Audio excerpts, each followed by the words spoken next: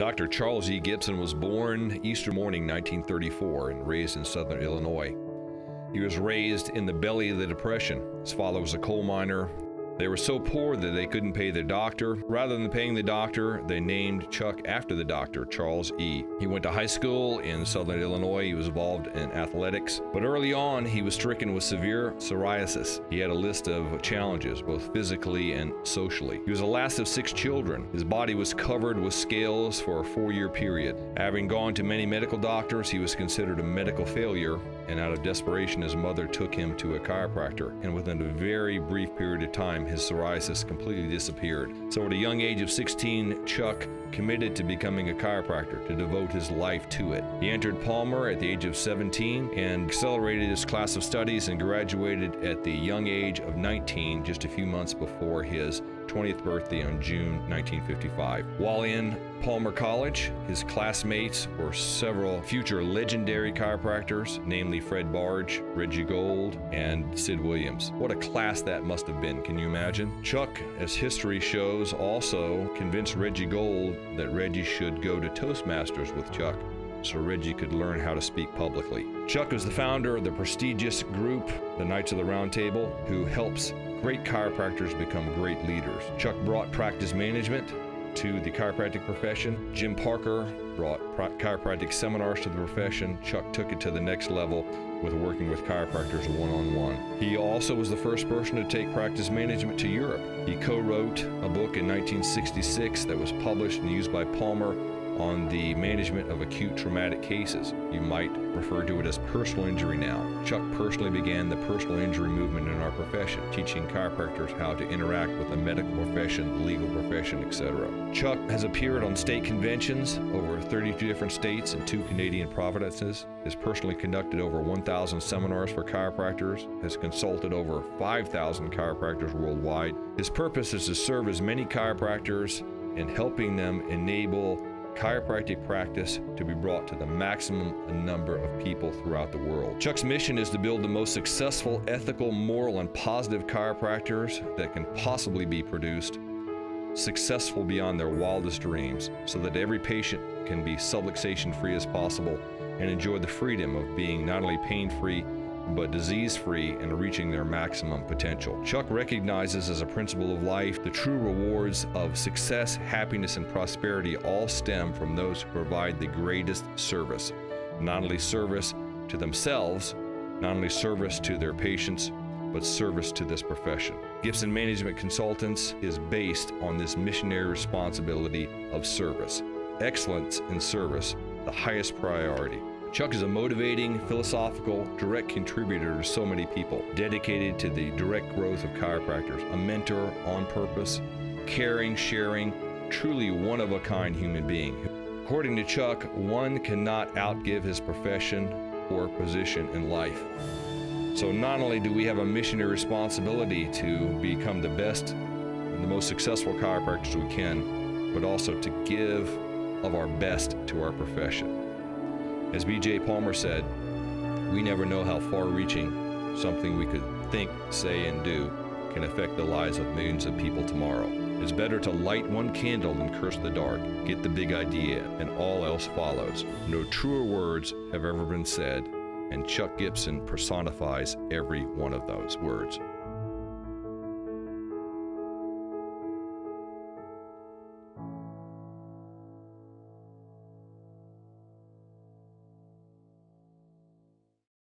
Legend Chuck Gibson, Dr. Chuck Gibson.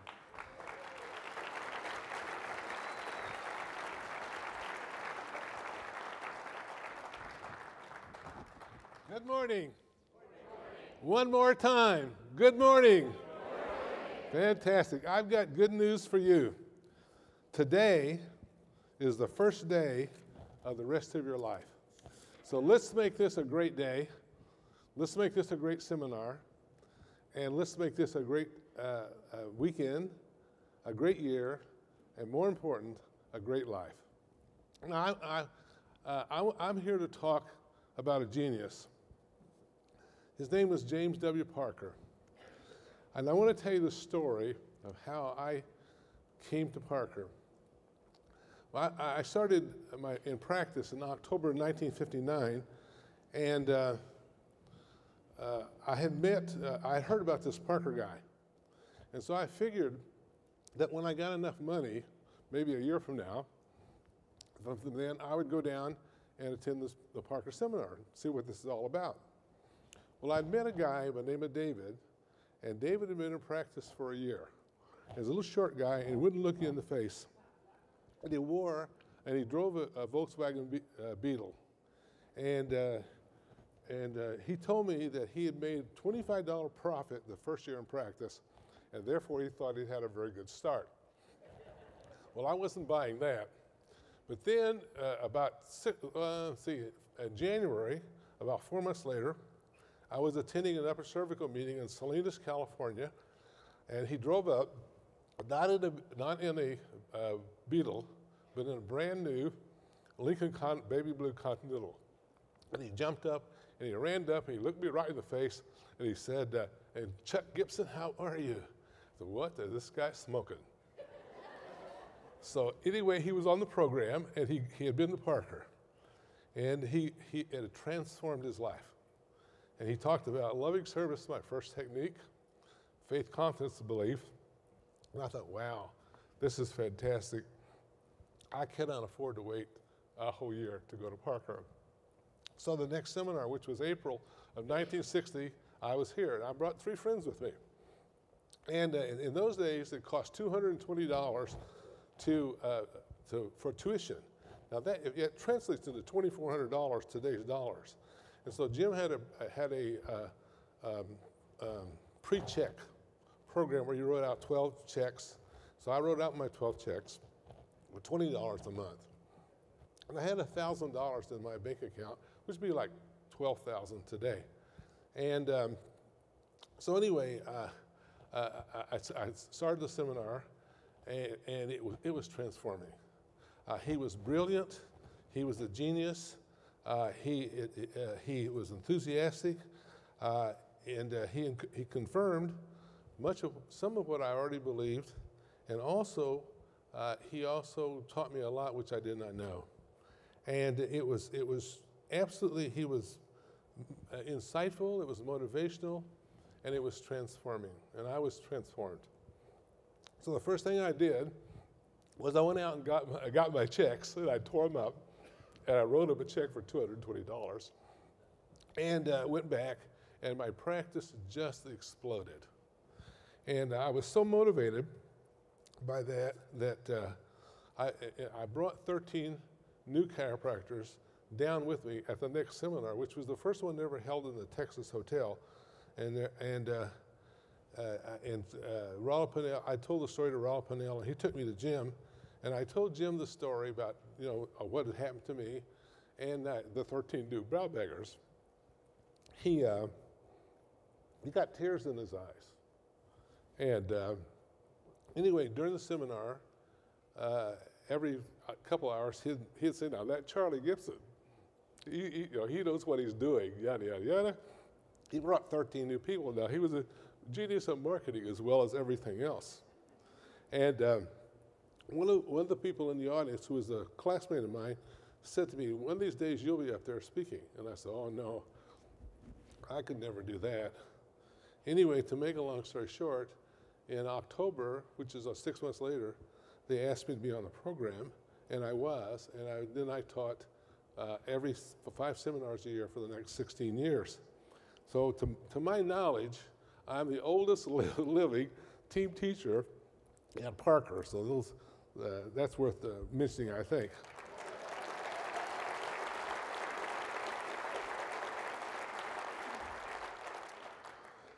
My practice, within 13 months, my practice was 400 visits a week and ultimately 850 visits a week for the next 25 years. Now, the reason I tell you that is this that some of you this weekend are going to be transformed and you're going to go back and you're going to do exactly what you heard and were told to do. And when you do, it's going to be transformational for you as well. Because it is important for every one of you to be uh, very successful. I've had an enormous personal and professional success in my lifetime, and I think that's important. But I, but I believe it's I believe it's really important for you to have personal and professional success as well. Here's why: it's for it's for your for the people in your community. Do you realize that every person who walks in your office that you attract to your office, however you do it, may have a transformational health experience or more than even spiritual experience as well.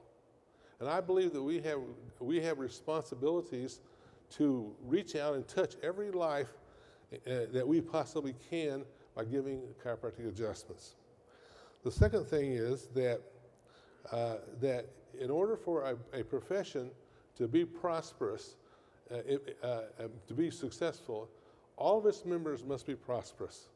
So not only do you have a responsibility to your community, and not only do you have a responsibility to your, uh, to your families, but you also have a responsibility to your profession to be successful as well. Now, from 1960 to 2000, our, our, uh, our uh, profession experienced tremendous growth. And much of that growth is attributable to Dr. Jim Parker, because Parker has, uh, Parker has showed us the way. You know, they say that a, that a great institution uh, uh, is the lengthening shadow of a great man, and I believe that to be true. I know that the Parker Seminars, PCRF, and Parker uh, College are great institutions, and they're the lengthening shadow of, of a man with a vision and the ability to carry it through. And so we're here to not only to talk about the genius, but also uh, to honor this great man. And you know, uh, I owe much of my success to Dr. Jim Parker. We, were, we became very close personal friends and spent a lot of time together. And uh, Sir Isaac Newton said that, uh, he, uh, that we stand on the shoulders of the people that came before us. And uh, uh, Newton gave his credit to much of his success to Copernicus, who lived two, 200 years before him. And I, we stand on Jim Parker's shoulders. And, because, and, and we owe, we owe it to ourselves and to our profession uh, to be the best that we can be and do the most that we can do. So I want to thank each and every one of you. God bless you, God bless your families, and God bless chiropractic. Hi, I'm Dr. Jack Donovan. I'm a chiropractor for 65 years. I'm on, here at a meeting of the Board of Trustees of Parker University. I'm qualified to talk about Chuck Gibson because he's been a friend of mine for 40 years. And I appreciate his friendship so much, but the most important time of our friendship was when he asked me to join the Chiropractic Knights of the Round Table. I knew nothing about the Round Table, knew nothing about the quality of people in, involved, but I readily joined because of Chuck's insistence. One of the best experiences I've ever had in my life made me love and respect Chuck so much more than I always did. He's a great friend, a great chiropractor. He loves chiropractic, and that's why I love Chuck Gibson. He could be your friend and will be your friend forever. Hi, my name is Jay Morgan, and I'm a chiropractor from Austin, Texas.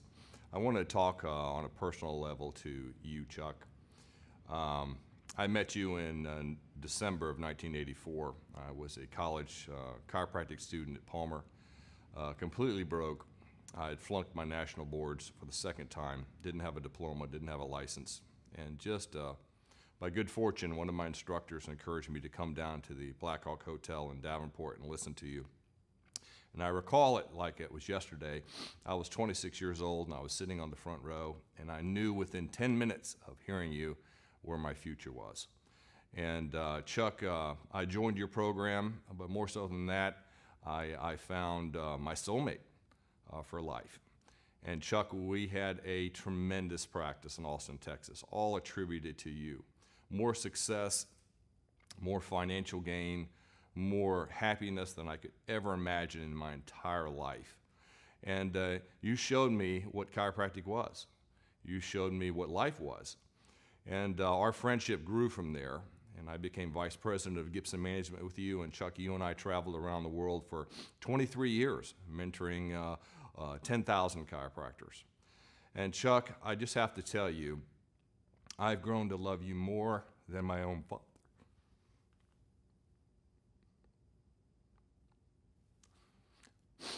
more than my own father. I can never repay you for all you've done.